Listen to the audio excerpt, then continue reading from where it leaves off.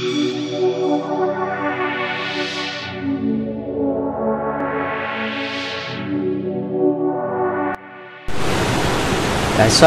warahmatullahi wabarakatuh. Salam jumpa dengan saya di channel aprianto.com ya. Pada kesempatan kali ini saya mendapat servisan HP Sony Sony N820 ya. Sony N820 Ini kata pemiliknya Tidak bisa nyala ya. Kalau ditekan tombol powernya itu sampai uh, nyala lampunya aja. Lampunya di posisi lampu terus mati lagi ya. Nyalakan lagi sampai di lampunya mati lagi ya. Seperti ini ya.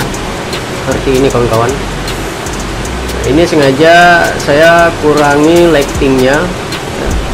untuk kalau ditambah lightingnya lagi itu tidak bisa kelihatan lampu dari HP tersebut ya.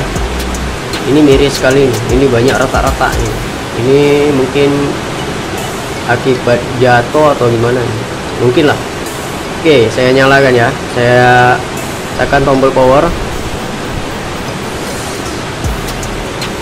nah itu dia. Kalau saya lepas dia mati. Nah nyalakan lagi. Ya saya lepas dia ikut juga mati ya. Nah. nah seperti itu ya. Nah seperti itu saya tahan dia tetap menahan ya dia tetap tahan. Saya lepas dia mati. Nah seperti itu nah ini sudah beberapa kali kasus ini saya dapat ya. Saya hanya tidak membongkar ya tidak membongkar ini HP saya hanya ambil baterainya aja. Nah baterai ini ya. Saya coba dari baterainya dulu. Kemungkinan dari baterai tersebut bukan dari HP-nya ya sebab mungkin dari ya baterainya ini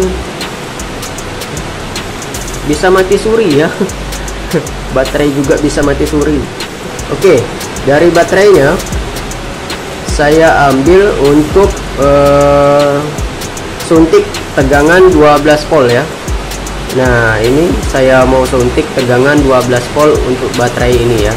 Ini baterainya juga bukan baterai Sony ini baterai A plus uh, smartphone X experience. Oke. Okay saya gunakan untuk masuk tegangan 12 volt menggunakan ini ya. Ah, menggunakan ini tapi eh, apa namanya? Adaptor. Adaptor 12 volt. Nah ini adaptor 12 volt. Nah itu ya outputnya 12 volt. Terus saya ada tambahan lagi ya. Ini terminal. Terminal ya seperti ini. Ini jepitan jepitan negatif dan positif. Ini terminalnya. Ini terminalnya saya buat juga sendiri. Ya seperti inilah. Ini tombol powernya. Switch on off. Oke terus ada tambahan lagi untuk ini ya. Saya gunakan ini. Untuk mendeteksi ya apakah tegangan 12 volt itu masuk ke baterai apa tidak? Nah caranya nanti eh, saya kasih caranya bagaimana. Ini saya tidak memerlukan atau tidak memakai power supply ya masuk tegangan 12 volt tidak menggunakan power supply. Saya gunakan ini. Nyalakan dulu ya ke 20 ya. Ini tanda panahnya ke angka 20 DC volt. Nah. Terus yang ini kita sambungkan dulu kita sambungkan dulu.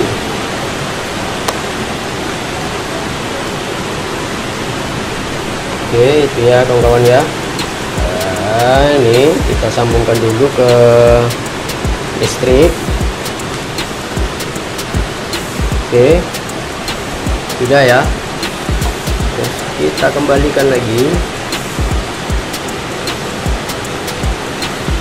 Maaf ini goyang-goyang terus yang ini nah jacknya yang ini kita sambungkan ke terminal yang tadi. Nah ini sambungkan ke sini. Oke kita nyalakan ini sudah on ya sudah on. Oke caranya seperti ini ya. Ditonton sampai habis. Kalau mau mendapatkan informasi dari video saya. Oke seperti ini ya. Dapitkan ke warna merah ya yang ke positif. Positif ke positif negatif ke pin negatif ya seperti ini. Ini maaf nih basic sekali karena saya membuat videonya lagi hujan-hujanan. Oke itu ya sudah ya Nah, tandanya seperti ini udah masuk ya. Saya lepas dulu, saya lepas. Lepas ini ya. Nah. Kan? Tuh. Ini kita alihkan dulu ya. Kita alihkan ke 1000. Baru dia bisa terdeteksi seperti ini ya. 13 volt. Sebenarnya itu 12 volt.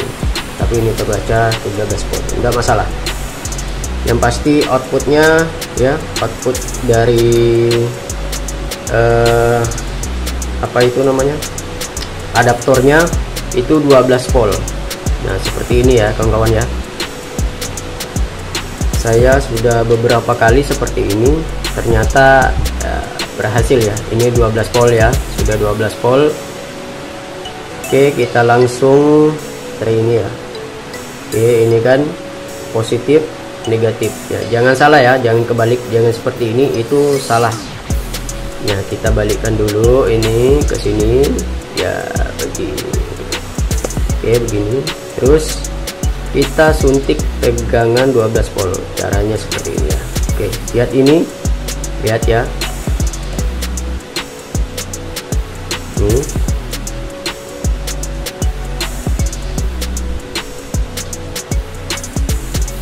tuh nanti kita suntik ini ya. Lepas lagi. Oke. Suntik lagi. Suntik lagi.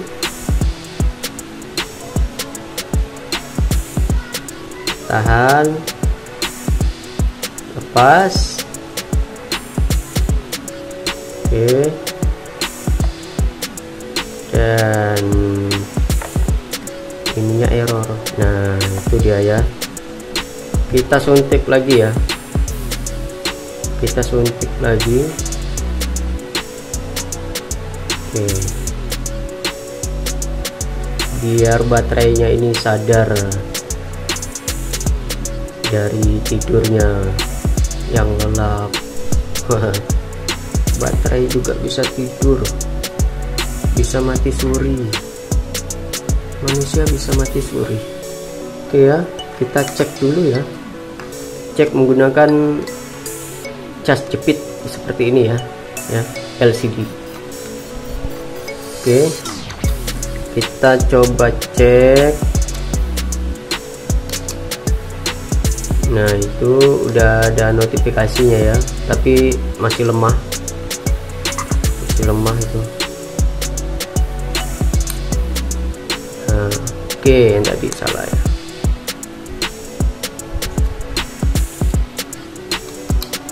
Oke, ini ya. Eh, mati. Eh. Oke, tuh. Nah, terus kita cas dulu. Kita bantu cas dengan pakai cas jepit dulu ya, seperti ini ya. Kenapa saya menggunakan pengecas jepit yang seperti ini? Karena ada LCD-nya. Jadi bisa kelihatan ya.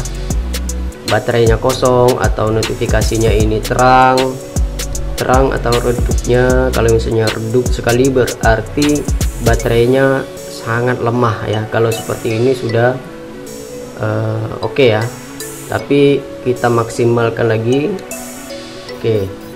kita cas dulu kalau yang ini kita matikan dulu ya. Yang ini kita matikan.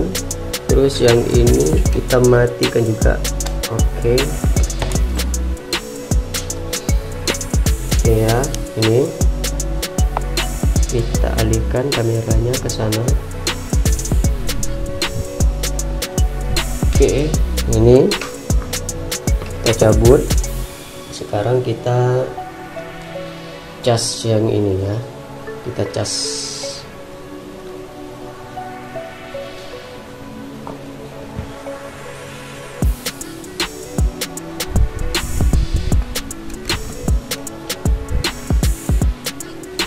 Oke. Itu ngisi ya. Sudah mengisi. Oke kita lihat kita lihat sama-sama. Oke maaf nih. Kita lihat dulu ini siapa tidak. Nah itu sudah tahap pengisian. Itu normal berarti. Oke. Seperti itu. Kita tunggu dulu untuk beberapa menit. Karena eh, tahap pengecasan untuk cas jepit ini lumayan memakan waktu ya. Nah ini solusinya untuk yang tidak mempunyai power supply ya. Oke sekarang kita ambil dulu baterainya mungkin udah bisa digunakan ya. Ini pengecasan sangat singkat. Hanya 30 menit uh, pengecasan. Terus kita ambil. Oke kita ambil dulu ya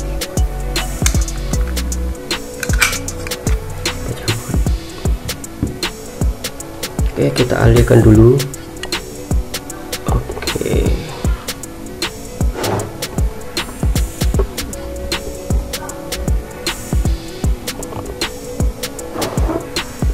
Ya. Sekarang kita sekarang kita coba dulu. Kita tes. Mau nyala apa tidak? Kita lihat dulu ya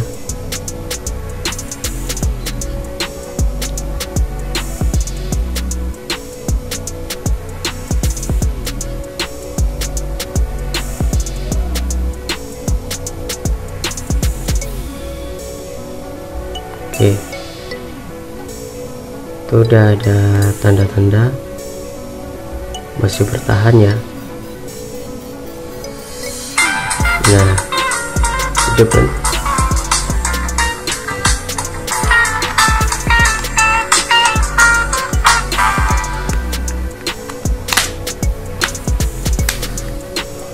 Oke HP nya sudah mantap lagi. Sudah bisa nyala seperti biasanya ya. ya kita tunggu. Oke ini udah bagus ya. Sudah bagus. Ini sudah bagus.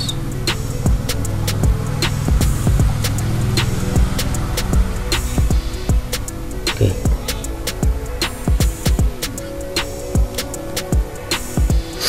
Oke HP nya sudah nyala jadi uh, untuk kawan-kawan ya untuk kawan-kawan kalau kendala HP seperti tadi seperti ini jangan langsung ke counter ya.